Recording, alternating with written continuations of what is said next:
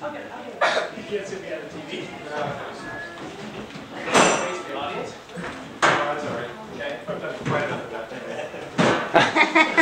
Nice skirt. Now, you wouldn't want to face in the audience with that skirt on, ladies and gentlemen.